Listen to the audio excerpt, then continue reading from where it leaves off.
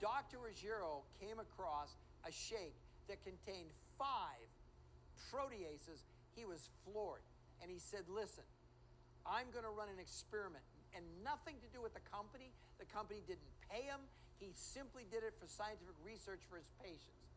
So here, Dr. Ruggiero is educating me about this and saying, Peter, listen, if we make the shake with cold water and ice and drink it in five minutes, you have a net nitrogen utilization, which in layman's terms simply means the percentage of the absorption and the utilization of all 20 amino acids by our genes of only 15%. However, with Dr. Ruggiero's work more than 30 years ago with Sir John Vane, who won a Nobel Prize in medicine for his work, not just on proteases, but many other substances as well, Dr. Ruggiero was trained at his feet about the power of proteases. And proteases are completely dependent on temperature and time. So proteases must be allowed to incubate, which simply means that once you blend the shake in the blender, take the lid off and let it sit for 45 minutes. This is called incubation.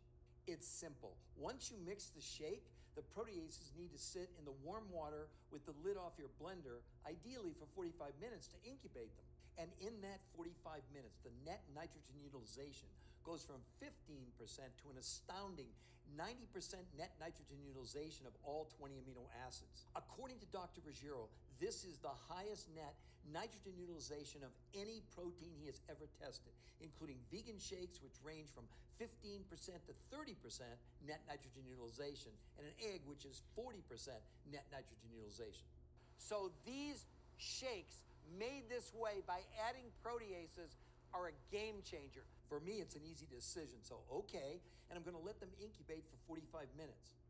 And by the way, at the end of 45 minutes, you can reblend the shake and add ice, so you don't have to drink them in warm water.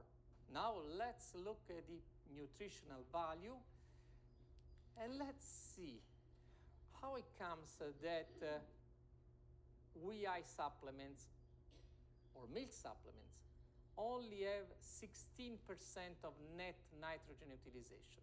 Enzyme blend, lactase from the Aspergillus oryzae, old friend of mine. 35 years ago, I was working on this. Lipase from the Rhizopus oryzae, cellulase from Trichoderma longibrachiatum, invertase, Saccharomyces cerevisiae, to make beer, protease, oh, oh, protease. I've heard this before.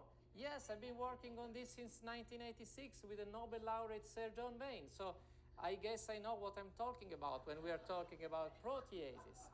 Amylase from the Bacillus subtilis, bromelain. Bromelain is another protease.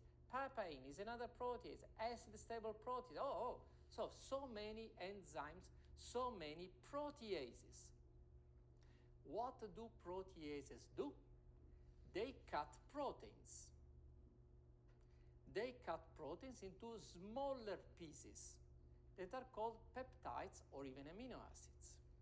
We have whey protein concentrate, the famous New Zealand, milk protein concentrate, and let's stop here. So, whey and milk protein, so the best of milk derived proteins.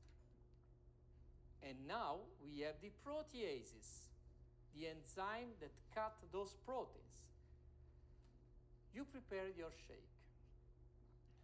After my talk, you may decide you may change the way you prepare your shake. You don't put the ice.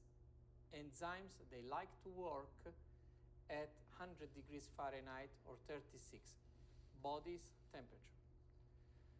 You don't put the ice, you prepare the shake, let the enzyme work. And what happens? Instead of having a net nitrogen utilization around 16%, now, after the proteases have worked and the proteins have been clipped into much smaller pieces, now you have a net nitrogen utilization around 90%. 90% net nitrogen utilization, simple trick you don't have to buy anything else. Simply let the enzymes work. Enzymes that until today you did not even know they existed. You increase the protein utilization from 15% up to 90%. This means you drink, you eat 100 grams of those proteins, 90% will be used. How do we know this? Because we have done experiments. In our laboratory, this is the way, this is a uh, contrast phase microscopy, very sophisticated. You see, these are the caseins, all these proteins, they still retain their shape. After 30 minutes, you see how it is uniform. All the proteins, all the caseins, the whey proteins have been digested by those enzymes. So if you are, are patient, you are assuming something that is absolutely different.